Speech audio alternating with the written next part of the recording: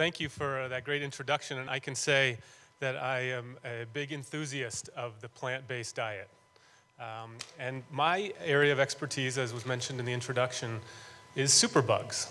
And there was a time not too long ago uh, when I was busy working on this book, and I was sitting at the dinner table across from my wife, who's a physician, and I could see that she was very deep in thought. And I had a stack of fungal journals on the dining table, and I was busy at work. And I saw her squinting and I said, What are you thinking about? And she said, Of all the guys in the world, how did I end up married to the yeast infection guy? and for better or worse, that is what I am known as uh, at my hospital. I'm a staff physician at New York Presbyterian, which is based in Manhattan, and we have satellite campuses all over um, New York, I'm probably going to have some near here soon.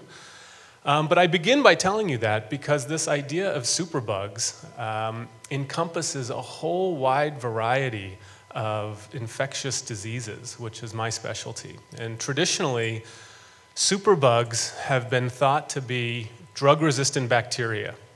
But we now know that it's a much bigger issue than that, that superbugs also pertains to drug resistant parasites, drug resistant fungi, things like yeast and mold, uh, and also drug resistant viruses. And in the course of the, today's talk, we'll cover all kinds of, of, uh, of superbugs, um, including some of the first to be identified and then some of the newest ones that have just um, been in the news lately, such as the coronavirus from the Wuhan province. And I want today to be interactive. Um, I'm going to talk for a while, and then I'm going to open it up for questions because I know that there is a, a, lot of misinformation, there's a lot of confusion, but there's also a lot of, uh, of very interesting thoughts that you may have. And I, I often learn something just listening to um, people in the crowd. And before I get going, I'll say probably the most interesting question I've ever gotten was in Richmond, Virginia. A man raised his hand and said, You know how locusts were cast upon the earth in the Bible as a judgment for human behavior? Do you think superbugs were cast upon the earth as a judgment for our behavior? And that video of me answering that question is on C SPAN. You can Google it. Um, but it caught me off guard, and there was quite a bit of fumbling uh, before I was able to answer the question, which is yes, um, we have contributed substantially to superbugs. Um, and I'm going to get to how that happened. And then I also want to put this all in perspective. I think we all have enough to worry about day in and day out that I want this to be calibrated appropriately on your list of things that concern you. Uh, because I'm an infectious disease specialist, and when I go home at night to my two young children and my wife, I'm not worried that I'm going to be transmitting some deadly thing to them, even though that's what I spend all day dealing with. And so I want to highlight why this is important, how we got here, and what we're doing about it, but also put it in some perspective. So, I want to begin by telling you a little bit about the book that I wrote, Superbugs. So, a few years ago, I was trying to figure out how do I talk about this issue? Because I was getting, as an infectious disease specialist, I was getting emails from friends and family all the time about articles in the news. You've probably seen plenty of these uh, newspaper headlines of new superbug, you know, MRSA does this, or outbreak of superbug in New Mexico. But one of the things that I noticed time and time again about these articles is that there was something missing from them. And that thing that was missing was the patients. It was often a story about the bacterium, about the science behind it, which was fascinating, or about the policies that had led to this, or what was being done from a policy, policy perspective to address it, kind of the 30,000 foot view. But it was missing the thing that I was seeing all the time, which was the patients who were coming into the emergency room who were scared and who were vulnerable, and their stories weren't being told. Um, part of that is because the journalists who were writing these articles didn't have access to them. And I'm going to talk a little bit later today about that issue of writing about patients, real patients, and how that's a, a, tricky subject. But for someone like me who writes all the time about medicine, uh, it's a, a, crucial aspect of telling these stories. So a few years ago, um, I was in the emergency room of New York Presbyterian, and a patient came in. Uh, I call him Jackson. He was an African American mechanic from Queens. And he had been shot, and there was a bullet lodged in his leg. And the area surrounding the bullet was infected. And when I was peering over to see him, I had a team of medical students and residents with me. And one of them handed me a piece of paper, which revealed the results of a microbiological test. And when I looked at it, my eyes bulged because it showed that the bacterium that was in his leg was a superbug. It had become resistant to every antibiotic that we had at our disposal except for one. And that one was something called colistin. I don't know if there are any clinicians in the room or pharmacists, but colistin is a very strong antibiotic that was discovered more than a generation ago. And it was something that we stopped using 25 years ago because it is so toxic.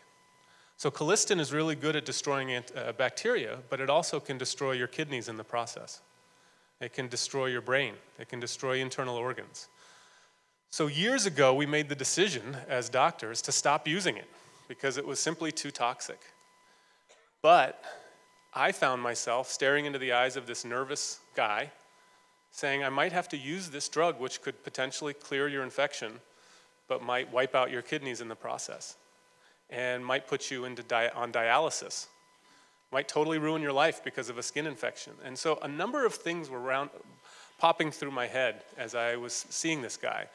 Uh, one of which was I'm on the ethics committee, and I found myself dealing with an ethical issue, which is can I ethically justify treating this guy's infection if I might destroy other organs in the process? One of the other things I was wondering is why did a stray bullet from Queens have a superbug on it? How did that happen? And then, more importantly, why didn't we have any better treatment options for him? So, all of this was spinning around in my head, and it was in that moment that I decided to write my book. And if you flip through the pages of it, you'll see that anecdote is what begins my story. And from there, what happens? And what happens to Jackson? And it becomes one of many patients who I follow and who I continue to follow. Uh, I gave a talk uh, not far from here, actually. And at, at, the end of the talk, somebody came up to me and said, Hey, remember me? I'm, your, I'm in your book. I had the superbug. You cured me. I thought, Oh, yeah, that's right. so if anyone here has seen me before, please raise their hand and, and let me know. Um, but what happened was after I saw Jackson, I walked across the hall to my mentor.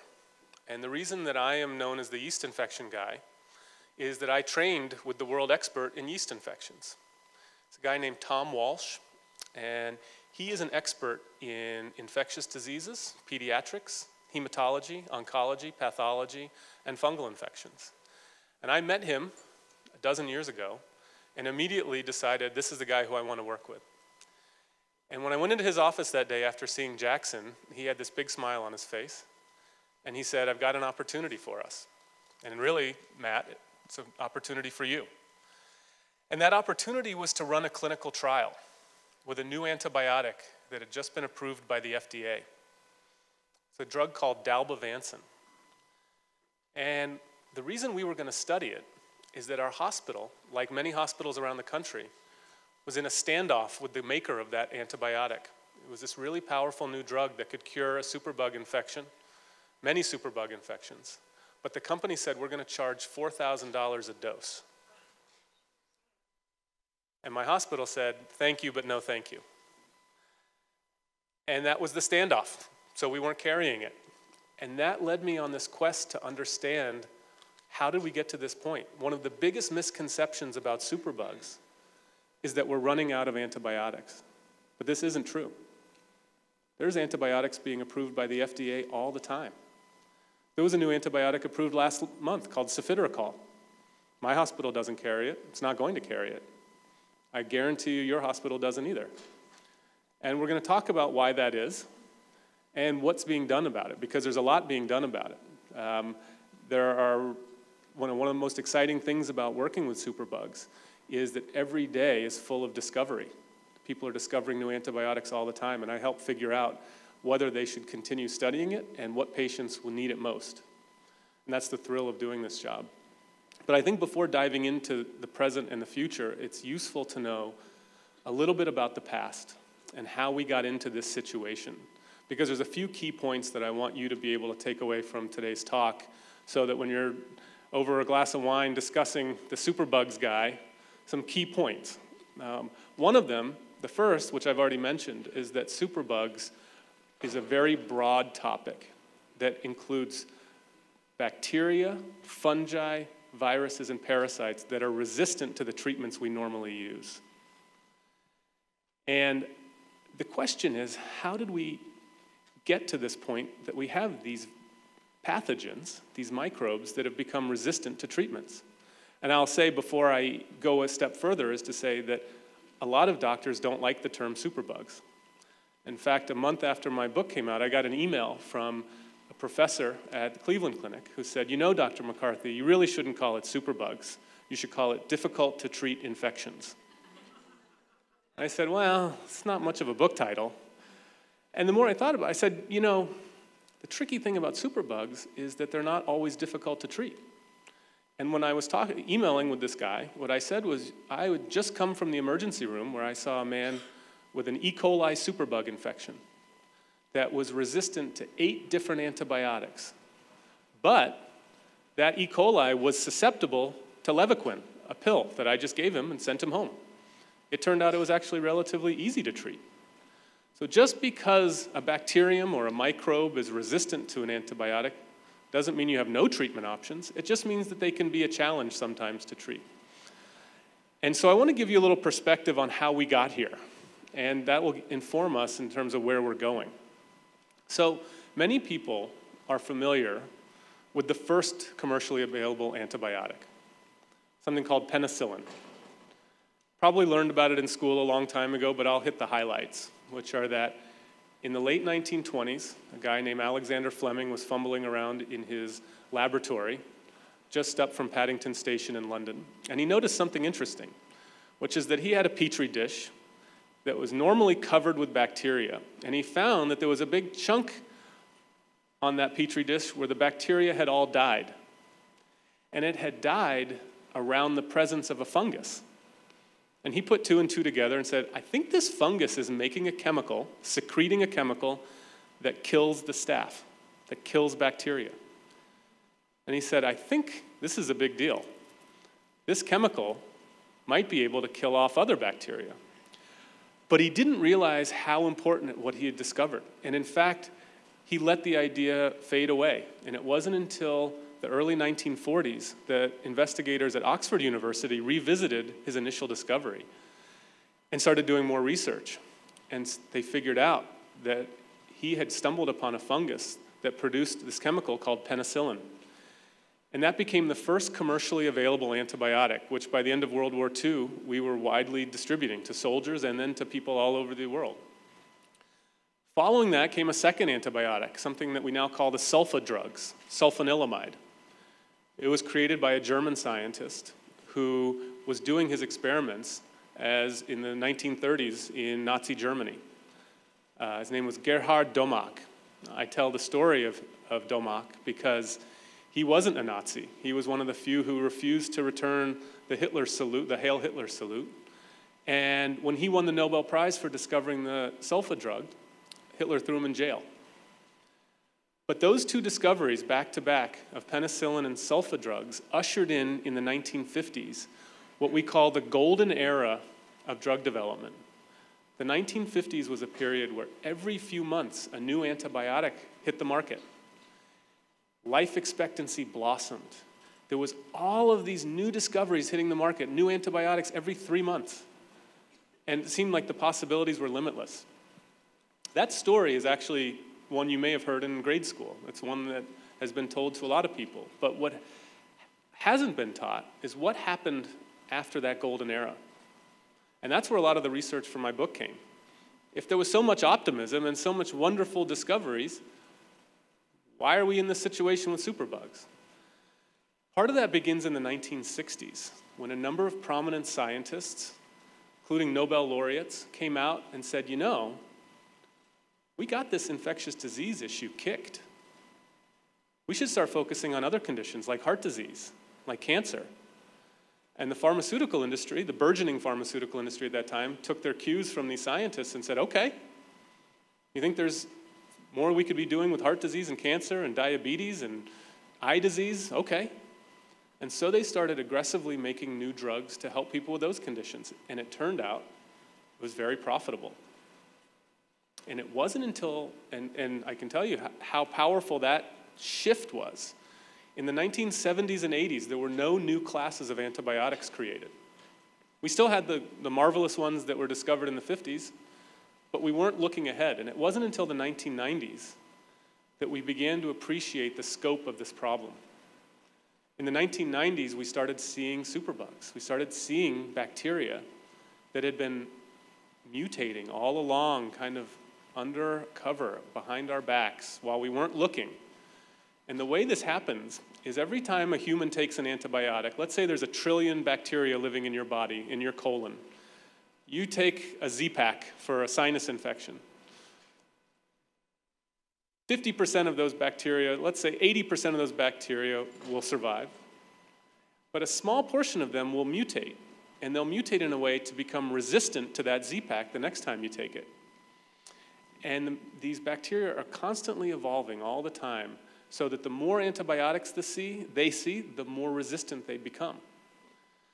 And so it was in the 1990s that we developed these very sophisticated diagnostic tests where we could say, whoa, that simple staph infection has become resistant to our antibiotic called methicillin. And methicillin resistant staph is what we call MRSA. Probably have heard of MRSA before. It's one of the most famous superbugs.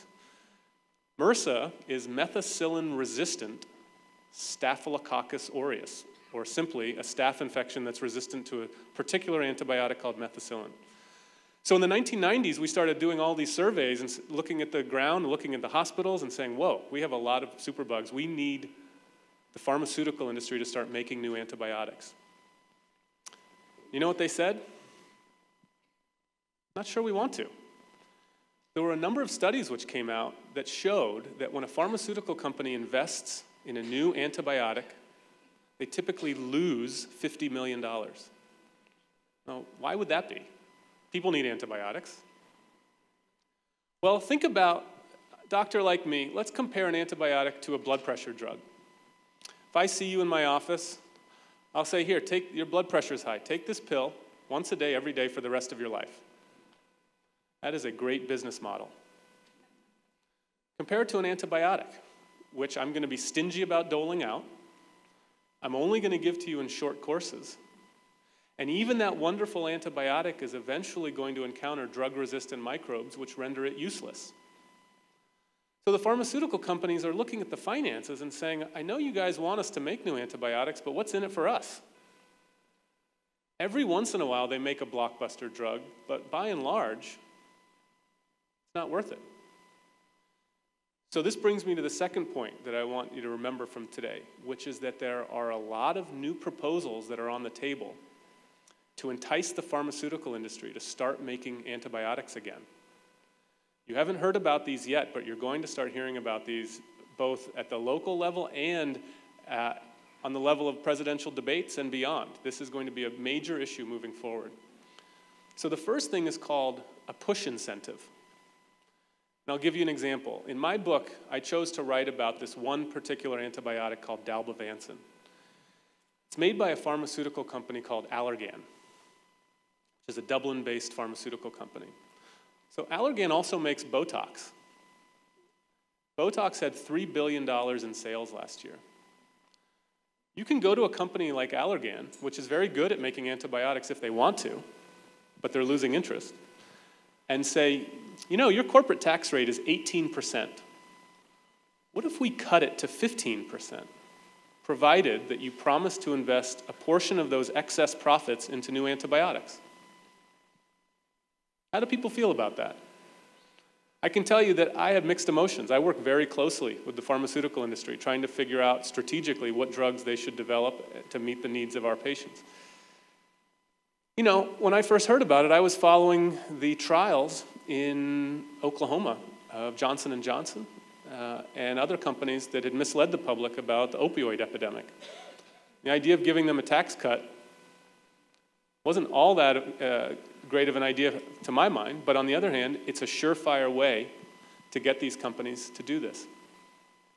Then there's something called a pull incentive.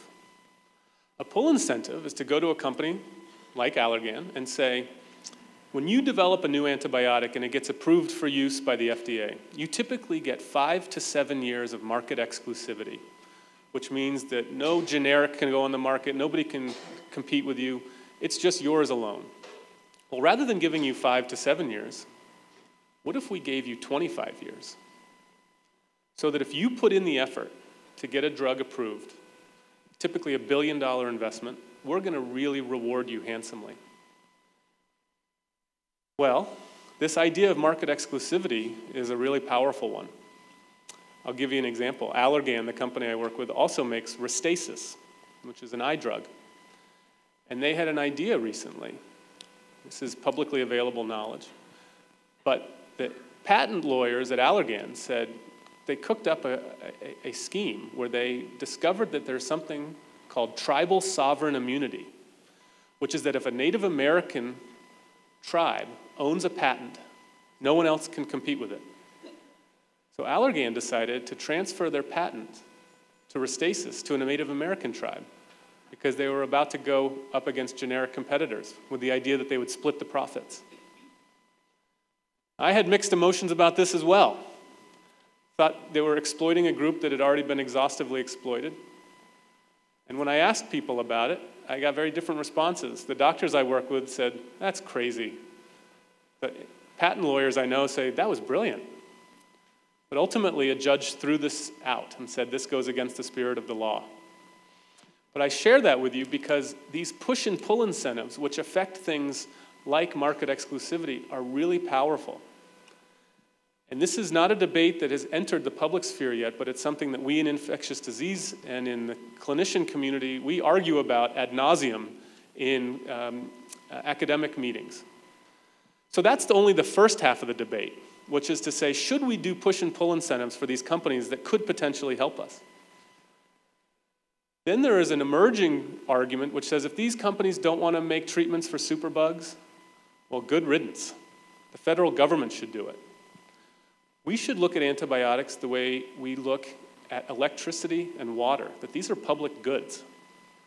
That what we should really do is disentangle dollars and cents, disentangle profit from this whole idea, this whole mess, and just pool our resources. We could pool it with the European Union, with Australia, whoever else wants to be a part of it, and spend money on the most promising drugs so that we all can benefit from them. And this whole idea of trying to beg these pharmaceutical companies to make new drugs for us is crazy. Now, I travel around the country and around the world, frankly, talking about this idea. And I have found a wide variety of responses to it. I can tell you that I was against it when I first heard about it. And in my book, I, I interview people, uh, people at the National Institute of Health, people in the federal government, to say, this is a provocative idea. What do you think? The first person I interviewed was a guy named Tony Fauci. He's the head of the NIAID, part of the National Institute of Health that sets priorities in infectious diseases. You've probably seen him during the, when we had the congressional testimony about the Ebola outbreak. You've probably seen him talking about Wuhan virus. He's a very smart guy. And I said, What do you think? Should we have the federal government make antibiotics? He said, Definitely not. You do not want the federal government to be a pharmaceutical company. And I said, Well, why is that? And he explained to me, which I will relay to you, his thoughts on this. That for the last 30 years, we have had a public private partnership where the NIH, the federal government, is very good at selecting scientists and giving them multi million dollar grants to do their science, to make discoveries, to find molecules that could potentially be antibiotics. But after those molecules are discovered, things become very risky and very complicated. Let's say that I was in my laboratory doing an experiment and I find you could pick a chemical, zinc oxide. If I find that zinc oxide kills superbugs, well, I can't just start giving it to humans. I have to do all kinds of experiments in test tubes and then in animals typically two different types of animals. Often we use mice and we use New Zealand white rabbits. Then you do studies in humans, phase one trials in humans, which are healthy human volunteers, then phase two trials to see if the drug actually works, and then phase three trials, which are what we call the pivotal trial, which says, does your new discovery, say zinc oxide, better than the existing stuff on the market? That whole process typically takes at least 10 years and a billion dollars of investment. Right now, the way it works is our government invests in scientists to make that discovery, and then those scientists pair off with the private pharmaceutical companies who put the money down for the billion dollar investment. Nine out of 10 of those investments fail. So, best case scenario is that a company needs to invest $10 billion to get one of those discoveries to work. And when they do, they want a return on their investment, which is why I was in a standoff with Allergan about their $4,000 a dose drug. None of this was apparent to me, despite the fact that I had studied molecular biophysics in college, went to Harvard Medical School, did my training at Columbia Presbyterian, and I had been a faculty member at New York Presbyterian. But I decided that this was a really interesting thing to look at. How were we going to do this? And so I set about designing a clinical trial, which I found to be much more difficult than I ever expected. And that's what my book ends up being about. Because I became the principal investigator introducing a new drug to one of the top hospitals in the world. And it turns out you can't just walk in and say, Hi, I've got this new drug, dalbavancin, I'd like to give it to patients. And the reason for that is that they don't trust people like me doctors to do experiments that are in your best interest. And they have very good reason to be suspicious. And history is littered with stories of doctors who were once left to patrol themselves, to decide what was ethical and what wasn't, committing egregious crimes against patients, things that have been widely reported, but also more subtle things. And as someone on the ethics committee, uh, I was acutely aware of all of this. I think many people are familiar with the Nazi doctors. Uh, there's a book I quote called Doctors from Hell about the experiments they did. But that was, that was only one thing. There was many more stories. I think people have also heard about Tuskegee, where we had government-funded scientists who were intentionally withholding treatment for syphilis from Alabama sharecroppers. And it wasn't that they decided to treat some of them and not some of them, they just never told them that a new treatment had come that could completely eradicate their infection. And syphilis is something that you can pass sexually transmittedly, can also pass it congenitally, congenitally. So these were people who were spreading this infection to their wives, to their unborn children. And this went on for decades, started in the 1930s, finally ended in the 1970s when a whistleblower stepped forward and said, Do you realize what's happening? The truth was nobody did until there was congressional testimony. And the Tuskegee incident shed to light the kind of transgressions that doctors had been committing for generations. Things like injecting viruses, herpes viruses, into mentally defective children, or sterilizing people against their will, or injecting cancer cells into people for experiments. All of this was done in some ways privately, but in other ways it was out in the open. The doctors were writing about this in academic circles because doctors were policing themselves. And when all of this came to light in the mid 1970s, a new institution was born, which was called the Institutional Review Board, the IRB. So every hospital now has a board, an IRB, which looks at clinical trials and the ethical dimensions of it so that the next time you're in a hospital, if somebody like me comes up and says, Hey, would you like to be a part of my clinical trial? It has to be approved by that IRB. And they ended up being an unexpected nemesis for me because I spent nearly a year trying to write a protocol, trying to design a trial that they would approve.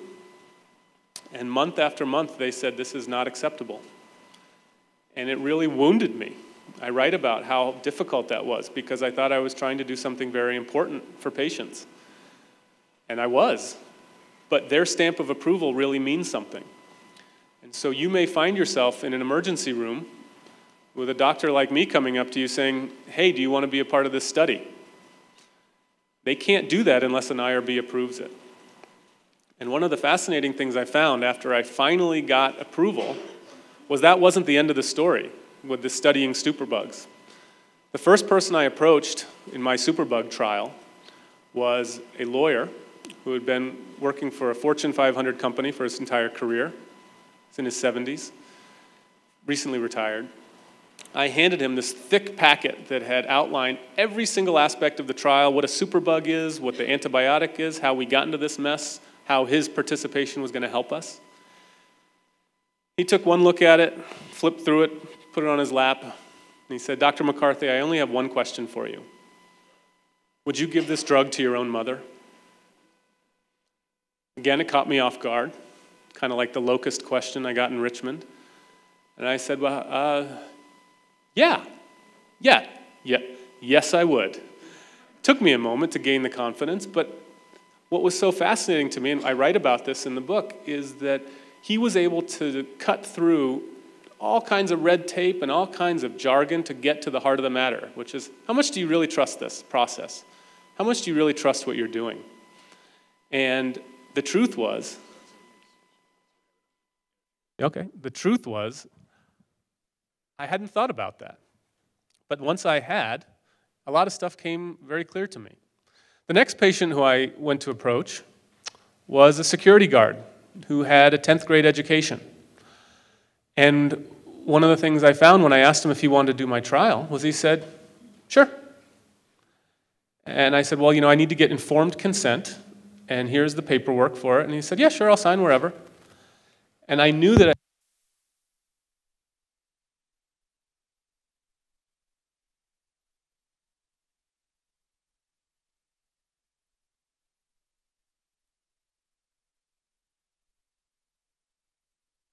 paid for this microphone. Can we? All right. So, one of the things that I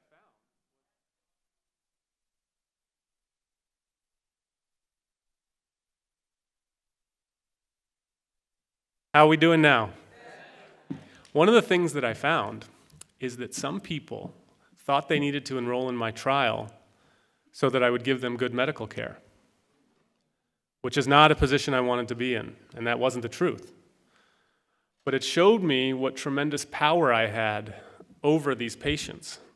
And that's one of the things, whenever things get uncomfortable for me, I like to write about it. And that makes my hospital's PR department very nervous. And that leads me to, I think, shifting gears a little bit to talk to you about how New York Presbyterian has a very aggressive PR arm and I've been bumping up into that for the last year because I've been the only person willing to talk about superbugs. And they don't like that. So I want to tell you a little story about something interesting that happened to me. So I'm going to transition a little bit and say that that story of the dalbavancin clinical trial, I'm going to return to that in a little bit, into the story of Jackson. But I want to leave you hanging to say that I was trying something new. I was trying to bring a new antibiotic to patients. And I found that enrolling them was really tricky because I was very good at getting consent, but I didn't always know if I was getting informed consent. And I was under tremendous pressure to enroll a lot of patients because there's strength in numbers. The more patients I could enroll, the more people I could experiment on, the more information I could gather. And that was a very difficult but interesting position to be in. And so while I was doing this trial, something really interesting happened. I mentioned that I am the yeast infection guy at my hospital. And shortly after I started my trial, I started seeing patients who had a very scary superbug infection that was a yeast infection called Candida auris. Has anyone ever heard of that? Candida auris, the epicenter of this worldwide outbreak is New York. So this brings me to point three, which is you should know about Candida auris. And I'll spell it if anyone's taking notes. Candida is C A N D I D A, Candida. Auris, A U R I S, for auricle, the part of the ear where it was discovered in a woman in Japan in 2008. So, what happened was in 2008, this random yeast appeared in the ear of a woman, and we found that it was resistant to all three major classes of antifungal drugs. There were no treatments for it. 50% of the people who got it died, 50% lived barely. And I've just spent the last 20, 30 minutes laying out for you why it's so difficult to get the pharmaceutical industry to make an antibiotic, to make something to treat bacterial infections.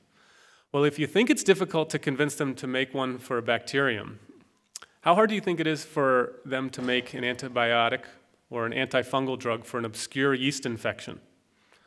Very difficult. So we started writing these articles about Candida auris and the fact that we desperately needed new treatments. And my hospital became a referral center. People got shipped in to see me from all over the world who were desperate. And we cured most of them, actually. And then in July of 2018, I got a call from a Pulitzer Prize winning journalist from the New York Times. And he said, Dr. McCarthy, I hear that you have been treating patients with Candida auris. And I said, Well, yes, I have. And he said, I heard that a number of them survived. I said, That's true. And he said, I'm writing an article, in fact, a series of articles about Candida auris, and I'd like to talk to some of these patients. And I said, Well, you know that I, there's something called HIPAA, patient privacy laws. I can't give you their contact information. But this was a savvy journalist, and he said, No, no. I'm not asking for their contact. Why don't you give them my contact?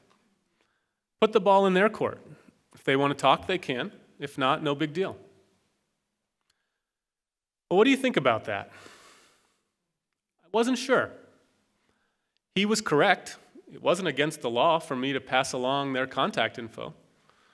But I also thought back to who these patients were and what they had gone through in my hospital.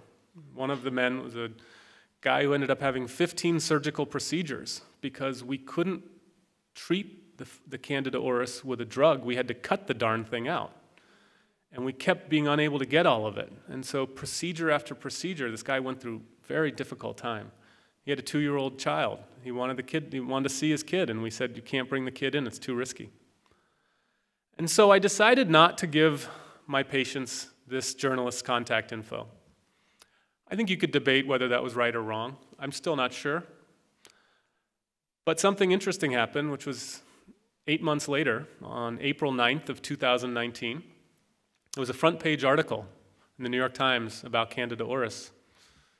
And the headline was Mystery fungus spreads around the globe amidst a climate of secrecy. And that secrecy was because of doctors like me who didn't give them access to patients. And you can read that quote, uh, that article, and I'm quoted in it. I gave a very long quote about how the doctors and residents and nurses at my hospital are so good that when a patient comes in in the middle of the night with Candida auris, that by the time I come in the next morning at 7 a.m. for rounds, there's very little for me to add. They've done so much, ex- executed things so well that I'm often left wondering if I should even examine the patient. What little am I going to bring to this? In fact, the only thing I could be doing is potentially picking up that superbug and bringing it to other patients. So I'm not even sure I want to do that. Well, that quote got truncated to say that a fungal expert's not sure he even wants to examine these patients. And so then two things happened after that article went live because it established me as one of the experts on this new superbug. So I got a call from Good Morning America. And they asked if I wanted to come on and talk about Candida auris. And I said I would love to. I've spent my career designing diagnoses, diagnostic tests and new treatments, and we've come up with a way to save lives. I would love to talk about it. Then I got a second phone call from my hospital's PR department, and they said, We are going to politely decline this interview request on your behalf. And I said, Can you do that? And they said, We already did. And I said, Well, why? And this is again in April of last year. I said, Now, why would you want to do that? This is shedding light on a really important public health topic. I'm not some wacko. I'm going to talk about the evidence and the facts and how we're saving lives. This will reflect, I think, in a, in a good way uh, about, on the hospital. And they said, Well, Dr. McCarthy, we appreciate where you're coming from, but ultimately, we don't want our hospital associated with superbugs. And I said, Well, I have some very bad news. I have a book coming out in three weeks called Superbugs. And it's about our hospital. Uh, and I've been trying to get it in the hands of the PR department for nine months because I tell the story of one of my family members who got a superbug and how he was treated at our hospital and the wonderful story of how a team came together to save him. And they said, What? you have a book on superbugs? And what they did was they ended up putting me through something called media training, which is that they hired an investigative journalist. They put a camera on me, and they got a bunch of the front office brass to come and watch me answer questions about superbugs, grilling me as though I, could, I was a, a loose cannon that might say something that makes their hospital look bad. And I'll give you an example. Earlier in this uh, talk, I said to you all that when I go home at night, I'm not worried I'm going to transmit a superbug to my two young children. When I said that, they freaked out. And they said, no, no, you don't want to say not worried. You want to say, I am confident that I will not transmit this to others. And that was the level of wording that they were concerned about. And at the time, I thought that that was a misguided and in fact, I wrote an op ed in response to my hospital's PR. I wrote an op ed in the New York Times. And the first line of it was Hospitals are losing an important PR battle because their policy, which is one that remains today, is no comment.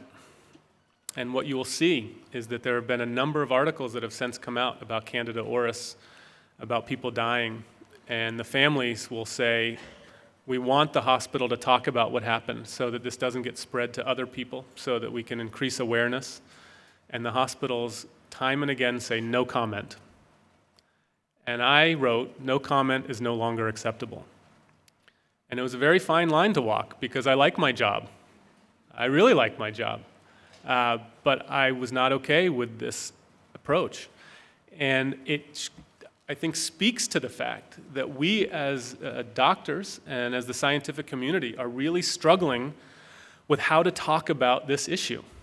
And that's the reason I'm here today, is because I want to talk about this issue. I don't want you to be fearful of it.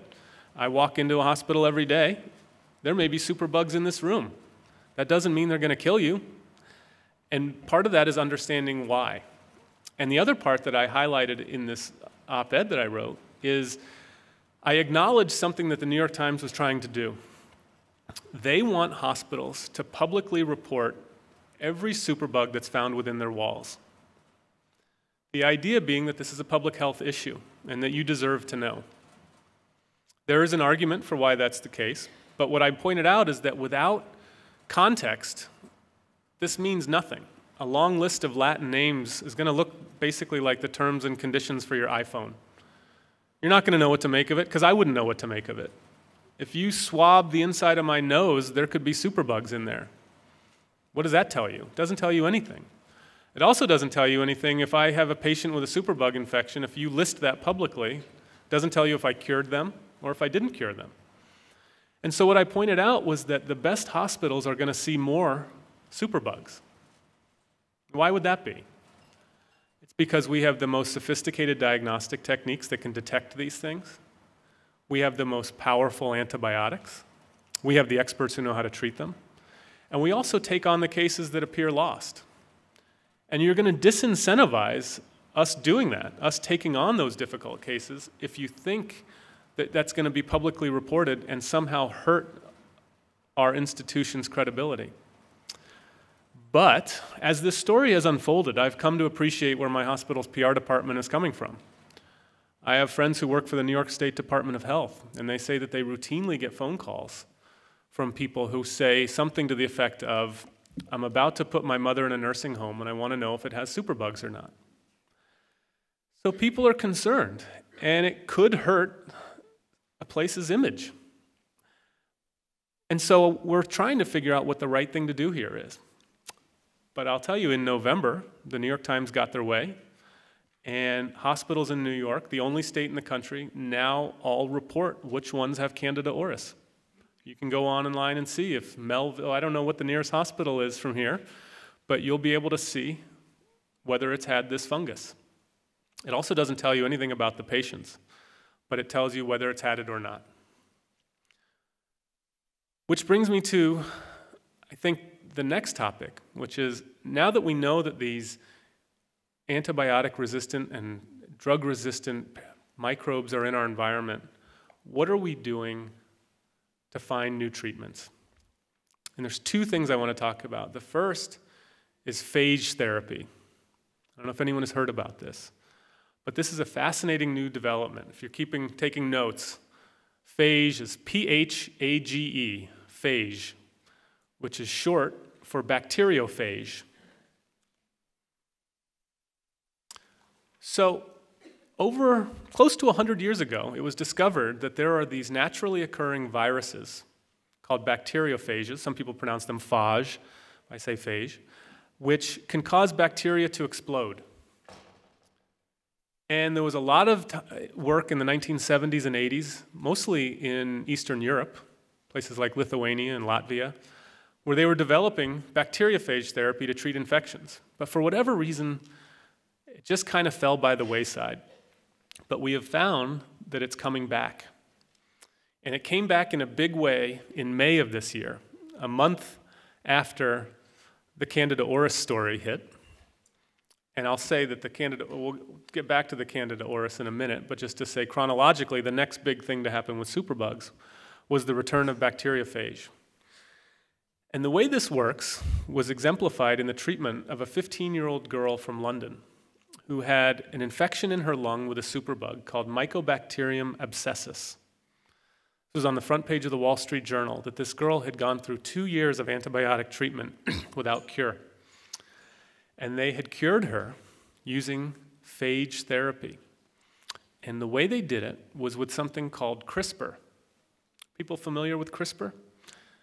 It is an enzyme. I don't want to get this into be a science lesson, but there are certain things that you can, I think, take away from and, and go dig deeper into. One of them is CRISPR, which is C R I S P R. CRISPR is a molecular scalpel that allows us to chop up DNA. And it allowed us to chop up this phage treatment. And so they created three phages, they gave them to a girl, and they cured her. Success. And I was immediately asked to comment on this, and they said, Well, what do you think about it? And I said, Well, I think I'm very happy for this girl. But the problem with phage therapy is that it is incredibly narrow spectrum. What I mean by that is that when people try to develop new antibiotics, they want broad spectrum. They want an antibiotic that can broadly treat every bacterium in this room, every infection you may have. They don't want something that can only treat you. But that's essentially what phage therapy does. It's essentially personalized medicine, it's precision medicine. But there's a downside to that, which is that someone has to study it to make sure it's safe. These things, we don't know much about them. I certainly wouldn't give it to my own mother yet. And the question is who's going to take up investing billions of dollars in something that could only treat, let's say, Mycobacterium abscessus affects a few hundred people a year? The finances become very thorny, and it looks to be a place, potentially, where the federal government could pick up the slack. If you're somebody who's out there who likes having the government involved in your health care, this would be a great opportunity for them to do more. So, phage therapy is, and there's a book about this um, called The Perfect Predator, about a woman whose uh, husband was saved using phage therapy. And I will say that that is something that we're going to be hearing more about in 2020 and beyond. But there's something else that's even more exciting about where we're looking for the next cures for superbugs. And that's in the soil beneath our feet. This will be point number five that I'd like you to take away from this, which is that the soil is an incredible place for antibiotic discovery. Why would that be? Well, if you recall what I told you about Alexander Fleming, that what he discovered was that there was this fungus that was making a chemical, secreting a chemical into the environment that could kill bacteria. Well, it turns out that in the soil beneath our feet, there are trillions of microbes in every square meter of soil that are engaged in a subterranean warfare, survival of the fittest, where they are all secreting little chemicals. Some of those chemicals are designed to kill others, some of those chemicals are designed to find like minded microbes, something called quorum sensing, where a bacteria will a, send out a little chemical that will identify other bacteria that are similar to it. But the thing we're interested in are the bacteria that are secreting chemicals that are designed to kill other bacteria. Because if you think about it, if we can pluck one of those out, we've got ourselves an antibiotic. And so, what we're doing, largely at the Rockefeller University in Manhattan, is we're using artificial intelligence to try to identify where we should hunt for more antibiotics. And as a proof of principle, one of the researchers I work with, a guy named Sean Brady, he asked people to send in soil from Prospect Park in Brooklyn. And he collected the samples, and he found more than two dozen new drugs. Incredible. The question is, what do you do with those findings? Because, as I said, any new chemical that you find in the dirt requires at least a billion dollars worth of investment and testing before you know it's safe. And I'll tell you that Sean Brady found in the soil a new drug to treat MRSA. It's called malacidin. If you want to look it up, M A L A C I D I N. And he met with me, and he is rapidly producing more malacidin. And I said, Great, can I come over to your laboratory and see? And he said, Oh, we're making it in China. And I said, Okay, well, when you have enough of it, let's test it. Because he's shown that it can kill MRSA. And so what I do is I then would study it in rabbits and in mice, and then in humans. And the way we're trying to figure out where that we should look is through artificial intelligence, which really blew my mind when I first heard about this. And the idea is that many of the antibiotics that we use today have similar structures. You ever see the structures a chemist will draw on the board that's got all these stick figures? Well, those are atoms that are separated in space. And what we can do is train a computer to say, okay, so penicillin looks like this. Look for something that looks like this but has a little extra something else on it. And we can rapidly scan through literally tons and tons of soil, trying to find things that are, look like the antibiotics that we know are safe and effective, but are a little bit different. And then something interesting happened after we've started this hunt in the soil is that I was contacted by The Atlantic, which is uh, the, the magazine. And they said, We'd like you to comment on this new um, quest led by Craig Venter, the guy who uh, sequenced the human genome. He thinks the next great place to find antibiotics is at the bottom of the ocean. I said, Really? That's news to me. But it led me on a quest, and one of the reasons I enjoy doing this is that I learn every day something new. And his theory is that at the bottom of the ocean must be some extraordinary organisms that can live in such harsh environments. And whatever's down there, if we can scoop them up and bring them back, they've probably got something important to tell us about survival. It's an interesting idea. I wouldn't want to invest in it, but if a billionaire wants to invest in it, I think it's a reasonable approach. We're also looking in the tundra. People are going to the Arctic, the Antarctic, and looking to see is there anything alive deep down in the ice? And this is one of the, I think, wonderful stories about superbugs and about life is that it finds a way. And we're trying to learn from everything around us.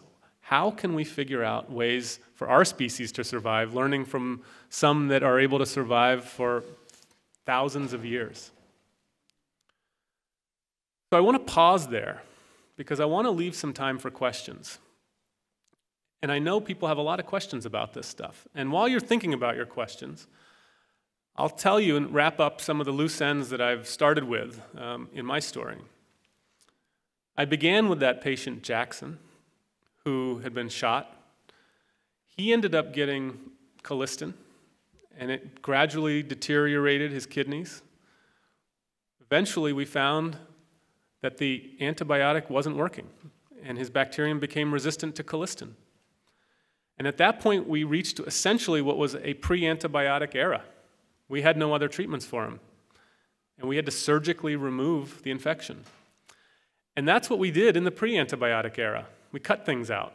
Think about biting the bullet and cutting off someone's leg. That was because they had an infected lesion on their leg and we didn't want it to leach into the blood. Because when infection gets into the blood, that's when problems result. Because it can go to the heart, the brain, the kidneys, the liver, and be a big problem. I also want to tell you what happened with the, the antibiotic. So this antibiotic had been approved, dalbavancin, in 2014. my hospital said, we're never going to use it. It's too expensive.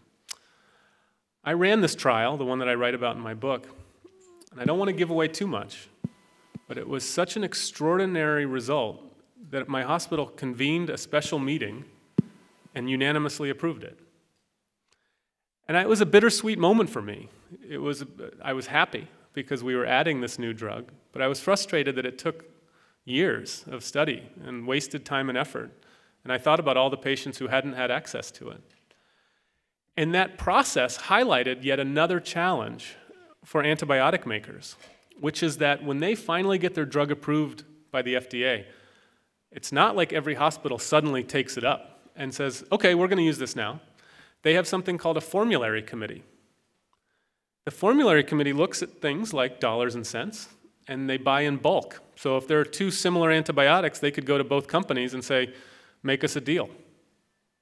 That means that a lot of antibiotics don't end up on your formulary, which is different than for heart disease or cancer. When a new heart disease drug comes out, we add it. When a new cancer drug comes out, we add it. Part of that has to do with the money that we make off of these types of diseases. We don't make much money off of infections. I can tell you, I, I was told not to go into infectious diseases as a field. I wrote an op ed in the New York Times pointing out that no one wants to be an infectious disease doctor anymore. The title that I gave it was Where Have All the Infectious Disease Doctors Gone? They switched it to make it a little more clicky. It said, The Scary Shortage of Infectious Disease Doctors. I keep that in mind every morning when I read the news and I feel dispirited about all of the headlines. And I think, well, if they change my headline to make it sound scarier, they're probably doing that for literally every other article that I'm going to read today. And I just try to keep that in mind that I'm much happier when I'm thinking that someone's trying to manipulate me because I don't think the world's as bad as it seems when I'm reading the news. And then I'll add, I want to add another thing about so dalbavancin got approved, and that opened up a new pathway for me to do research. All of these companies started coming to me and saying, "Hey, can you get my drug on the formulary?" And that put me in an ethically uh, perilous position because I don't want to be some shill for the gov- for the, the, these companies. But they're very nervous, the ones that make antibiotics. And they point to a company called Achaogen. This is point number six if you want to look up. Achaogen is A C H A O G E N. They make an antibiotic called plazomicin. P L A Z O M I C I N, which was approved by the FDA in June of this past year sorry, June of 2018, to tremendous fanfare. People said, We've got a new drug for superbugs. Nine months later, the company was bankrupt. And the reason for that is when the FDA approves a new drug for superbugs, they don't give it blanket approval and say, you can use plazomicin for whatever you want. They give it for specific indications like a urinary tract infection or pneumonia or a bloodstream infection. And these companies gamble heavily on what they're going to get approval for and they gambled wrong. It was approved for urinary tract infections, and we don't need a new drug for that. Stock price plummeted, company went bankrupt. Three months after the company went bankrupt, the World Health Organization added plazomicin to the list of essential medicines. So this company invested a billion dollars to make a drug the, the WHO thinks is essential, and they couldn't make a single dollar off of it. Which leads lends credence to the idea that maybe these companies shouldn't be doing this at all. I'm not going to weigh in on that. You can read my book and you can see what you think about that argument. But you will be hearing more about this idea that the federal government should be the one who's looking after you and looking after in, the whole field of infectious diseases and antibiotics. There's a number of topics I haven't hit on yet, which I'd be happy to address in the Q&A, or I'll hang around after this. Things like vaccines, things like ways to protect yourself. But I'll leave it open for questions because I see that I have about 25 minutes left, and I want to make sure people get to talk. So on that note, I want to thank you all for your attention. It's been a wonderful experience speaking to you.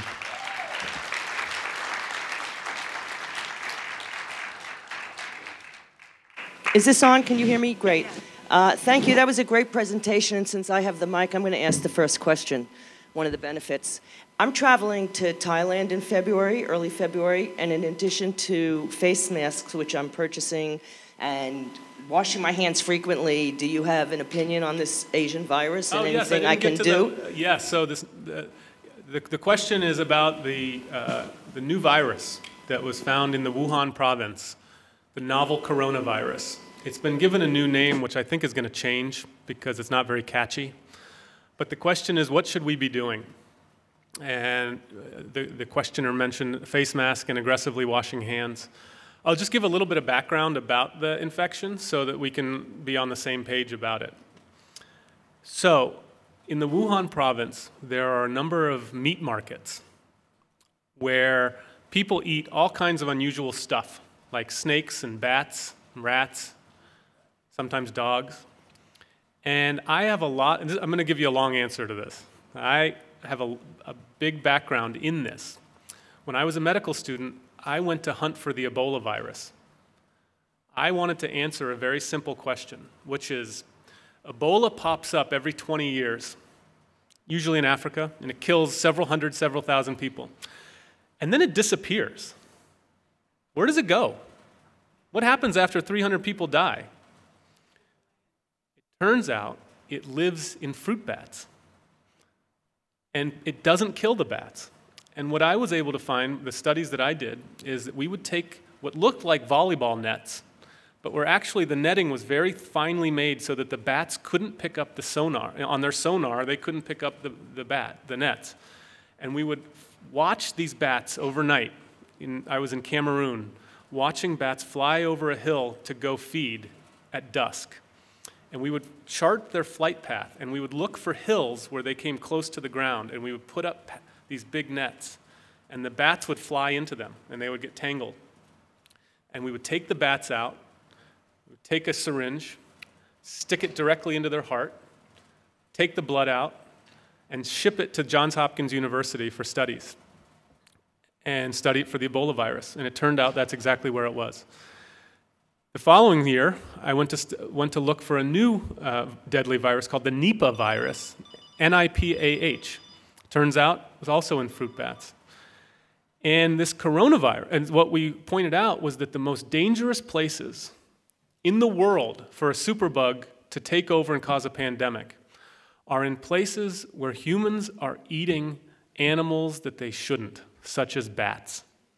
And in fact, the most recent Ebola outbreak, the 2013 2014 outbreak, was because a child got into contact with a dead bat that had the Ebola virus.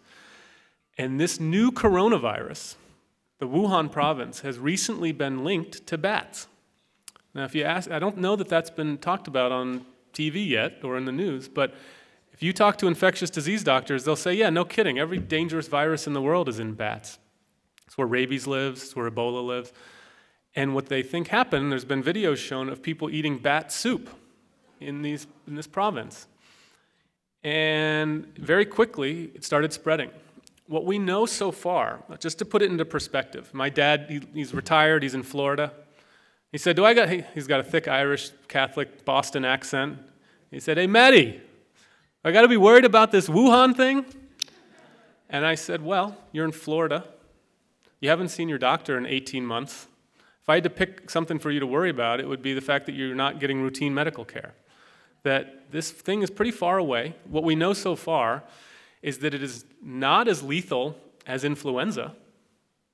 And what we're hoping, so far the, the numbers are that almost 5,000 people have been infected and 107, as I took the podium, had died. And those numbers, if you compare that to influenza, where last year 80,000 people died, um, it's not as dangerous as that.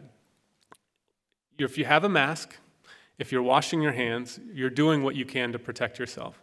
I would tell you to avoid meat markets today and for the rest of your life. Um, and you know what's what I think is interesting from an, as an ethicist is this idea of quarantining 50 million people. It seems to be slowing things down. Um, I, I see that the stock market is taking a hit because of it. Um, I get asked all the time now to take calls with investors who want to know if, where the stock market's going and if there's a way to make money off of this. I've declined those calls, but this is affecting people all over the world. And the thing to remember is that it is definitely less dangerous than influenza. You know, I, I worked last week at New York Presbyterian Hospital. I'm seeing dozens of cases of influenza, and some people die from it. And so, you know, we're hoping that this will cause people to get vaccinated for influenza. Um, this year, the vaccine has 58% coverage of what's circulating. It's not perfect, but it does pr provide some protection. So I would not cancel your trip to Thailand. No intentions. Okay. Uh, thank you very much. I appreciate it. First question? Okay, so uh, about 15 minutes ago, you mentioned that dalbavancin was not approved for your hospital because it was $4,000 a pop. Now, if this was a socialized um, country, as per Canada or Israel or England, would it be easier to get this drug? And, and also, how come drugs cost so much money here and so little money uh, elsewhere? So the question was, with socialized medicine, would we be have more access to these drugs? The answer is no. So I see a lot of patients who get ended up in my emergency room because they're on an experimental cancer therapy. They are getting something which costs $30,000 a dose that may extend their life by a few weeks. And then it doesn't, and it wreaks havoc on their immune system. In my, my med school roommate lives in Sweden, and he said, We wouldn't even consider giving these to people. So, our very, very, very flawed healthcare system does provide access to drugs that you don't get in other places. Um, whether that's right or wrong, I can't say. Uh, but you would not be talking about the economics of dalbavancin if you were in, in the European Union. Um, and I will say that what we find is that in certain conditions, let's say breast cancer, we're far more willing to pay for a drug which will extend life by a few months than we are in infectious diseases, where a drug may extend life by a few months for a few thousand dollars and we won't pay for it. Yeah, oh, I have the microphone. Okay. Uh, hi, thank you. Uh, my name is Barbara. I'm a midwife and I'm a former nurse at Presbyterian, and I'm very proud of you. I'm very proud of the work you're doing. Thank you very much. And the question I have is could you comment on Josh Axe's uh, idea of eat dirt and don't wash the organic dirt off the carrots and and that sort of in other words can you tell us ways to protect ourselves yes i would love to have a, a mic i can walk around with but I, I, don't know if we have one so the question was from a, a former midwife at new york presbyterian um, about this idea that you should eat, eat, dirt leave some of the, the rind on carrots and things like that. Um, so let me back up and just say, as a midwife, my, my wife gave birth at New York Presbyterian, and I have seen some of the most difficult and challenging things you could possibly see in medicine, and nothing fazed me until my child was born, and I almost passed out, and I was so unsteady that I couldn't cut the umbilical cord. So I admire what you do. Um, the question is about how should we expose ourselves to these pathogens? And there is an article that got a lot of play, a lot of circulation that said the title of it was Let Your Kid Pick His Nose. the truth is, it doesn't help us to raise children in sterile environments. I grew up in Alabama.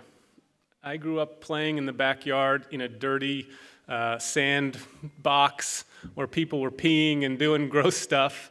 Uh, and I don't get as many infections now. And I've often wondered is there a connection or is it maybe I just luck of the draw? I do have a plant based diet myself, and maybe that's actually helping me. But there is a lot of, uh, there is a belief that, can you hear me on this one?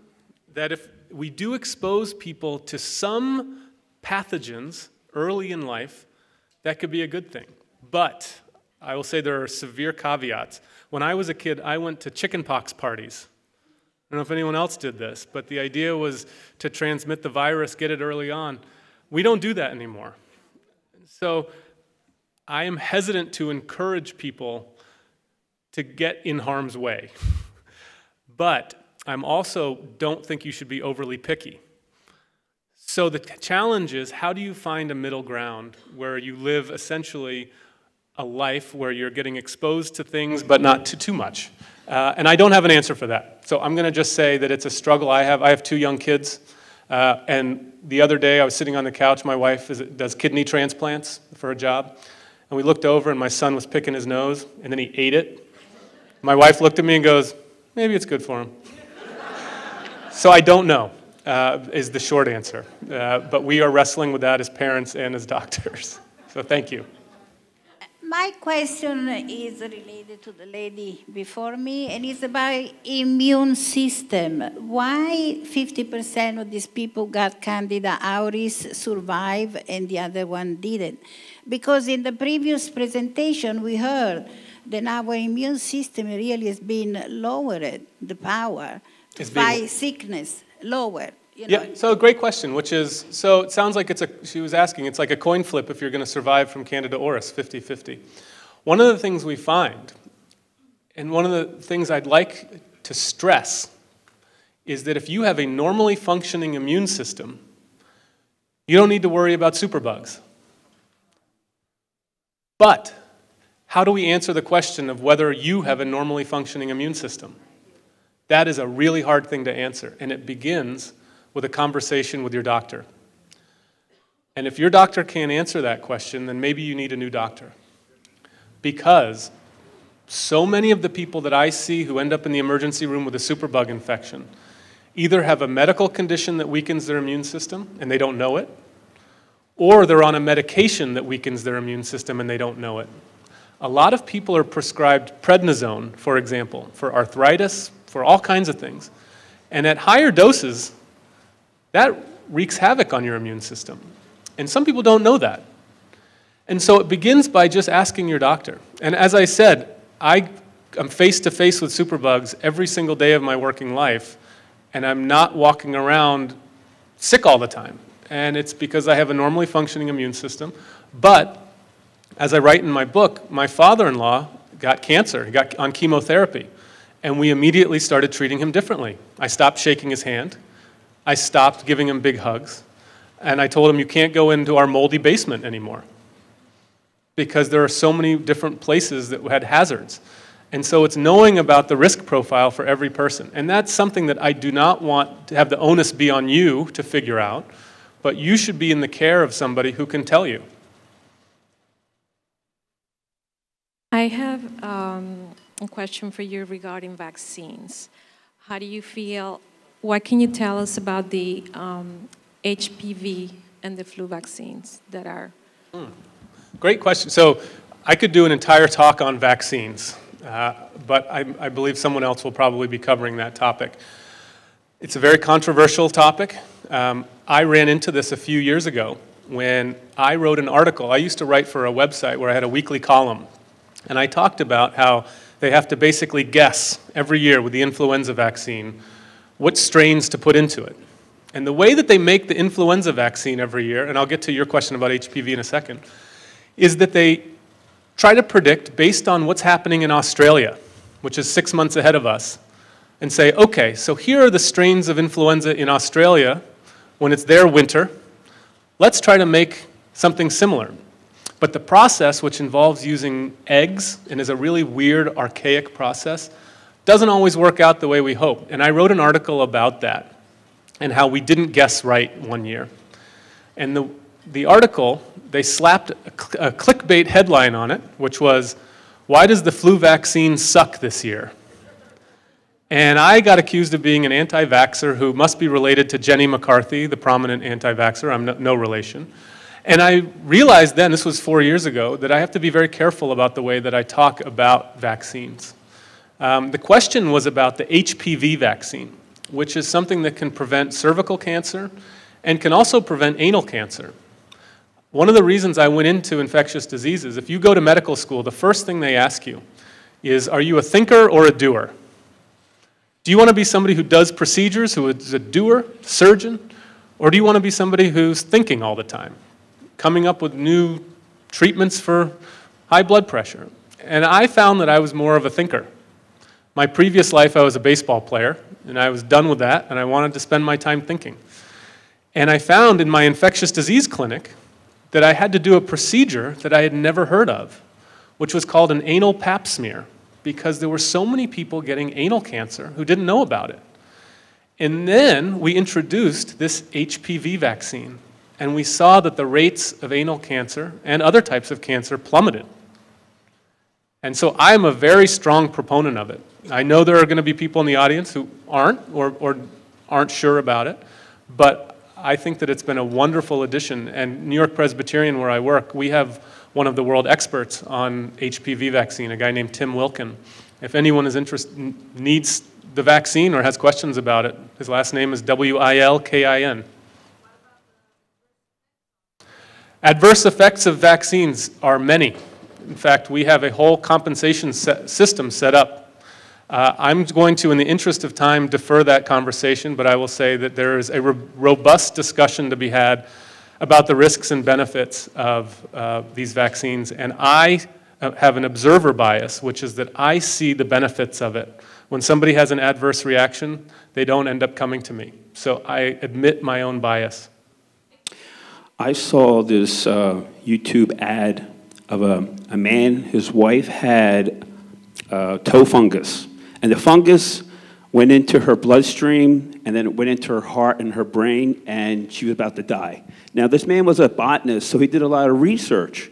And he said, How can something like a toenail fungus kill his wife and go into the heart and brain. So he did a lot of research and he found out like what is this fungus and he contacted a lot of, he found out that a lot of people in the medical community could not answer his question about what is this fungus and how could this be. So he did a lot of research and he had found out that um, bacteria is a single cell organism and fungus is a multi cell organism, and that a lot of human beings have many, many uh, fungus in our body. And uh, he, he put together, we all familiar with acidophilus, but he put together a herb called um, fungus eliminator that eliminates, uh, actually is, it has like seven other different acidophilus other in there, which I cannot pronounce. But um, he's saying that, you know, um, even people who had their toenail fungus surgically removed, the fungus comes back because it's something to do with our, a lot of fungus in our body. So, great question. Um, I mentioned that I'm the yeast infection guy, and it's because I was seeing things like this, where in medical school, people want to become brain surgeons and they want to become, you know, cardiologists, but I was seeing this very important subset of patients who were having things like toe fungus kill them. Nobody was talking about being that kind of doctor. That type of doctor is called a mycologist. And I ended up being drawn to a mycologist named Tom Walsh, who I mentioned at the outset of this talk, who I ended up writing the book about. And the fact that there are so few doctors who want to take care of patients with fungal infections, that what he's often left to do, and now what I do, is we will get frantic phone calls in the middle of the night from somebody who will say, I've got a 15 year old girl who's got a toe fungus and the fungus just got into her spine. What do we do? And that's what the book is about how we have this very small cohort of experts to take care of this really important patient population. And the population is expanding because every time we come up with a new chemotherapy drug, every time we come up with a new drug like Humira, some new drug that can affect your psoriasis or your arthritis, it also affects your immune system and predisposes you to things like fungal infections. And we're not keeping up with the demand. And one of the ways that we're trying to alleviate this is with something which I think you hinted at, which is the probiotics. That there are ways with acidophilus and other types of, of good bacteria and good fungi that we can replace the dangerous ones. I will say that in the interest of time, that's an active area of inquiry, and that I'm not surprised that the toe fungus nearly killed this woman. The part that I spend a lot of time doing is going to medical students and residents around the country and pre med people and trying to convince them that this would be a great career. Because there's nothing sexy about being the yeast infection guy, but it saves lives. And I appreciate your question. Hi, uh, thank you so much for all this information and your candor. Um, this isn't something that you hear from your regular do doctor or gastroenterologist or any specialist that I've ever been to. Um, so thank you for that. Um, my question, I had a couple of little questions, so I'm just going to lump it all together.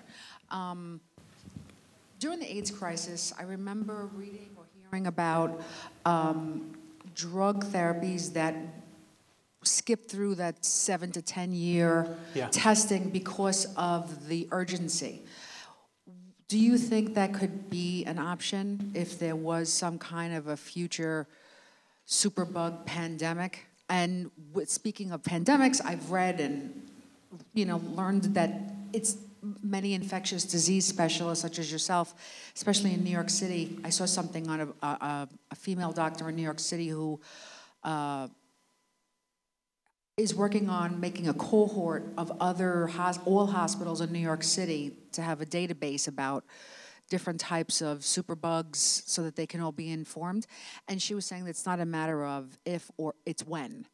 Absolutely. Uh, I just will answer that by saying we do have an accelerated pathway for the most promising drugs.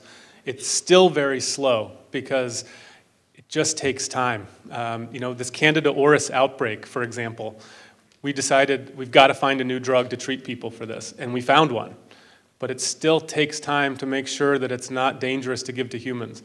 And one of the bizarre things in my field is that when we find a new antifungal drug, they give it a terrible name. So the new treatment for Candida auris is a drug called ibrexafungerp. I don't know why they do that to us, but that drug is going through exhaustive clinical trials right now, and we created a network, which you alluded to, um, where we can recruit doctors and patients very quickly who are desperate to be experimented on. Um, it's a tricky thing because occasionally we will find that there are people who are so sick that we think they're going to die anyway, and we don't want to test a drug that's going to fail but we also don't want to withhold a drug from someone. And this brings up a really controversial topic this right to try, which I think people have heard about. And I can tell you, I'm able to simultaneously see it from the perspective of a doctor who's studying a drug saying we shouldn't give this drug to people who don't qualify for it because it's going to screw up our testing and it's going to set the project back. And then I think about my children. And if one of them had a deadly disease and there was a drug that was being tested, I would fight like hell to get that access for them. So we go back and forth about the ethics of how quickly do we disseminate promising new drugs. I just had a question regarding a long time ago, about 10 years ago, I used to hear a lot about necrotizing fasciitis, mm-hmm. fasciitis. And I'm just curious, I don't hear about it anymore. Is it still existent? Is it still prevalent? Because so, at, I worked in a hospital, yeah. and at that time it was. So the question is so I, I'm seeing that my time is up, so I guess I need to stop on this question. But I will say the question was what happened to necrotizing fasciitis? This used to be something we heard about all the time. So that describes essentially flesh eating bacteria. So necrotizing means that something's dying, and fasciitis means that it's the fascia or the area just below the muscle and the skin that's dying. Necrotizing fasciitis is not due to a specific superbug, but encompasses a type of disease where you're constantly your skin is dying very quickly. Uh, I still see it all the time. Um, people aren't writing about it as much, you're right. And the reason for that is that we know more. We're able to identify what the bacterium is that's causing necrotizing fasciitis. So sometimes you'll see that somebody will go um, into the Gulf of Mexico to go searching for squid or some, I don't know, whatever, and they come out and they have uh, their arm is basically falling off. In the past, we would have said, wow, that person has necrotizing fasciitis. Now we say that person has Campylobacter jejuni uh, infect, and we're able to give it a more detailed in answer. So that's why you don't hear about it as much. So on that uplifting note, I just want to say thank you all for these wonderful questions and for listening to a talk about superbugs. So thank you.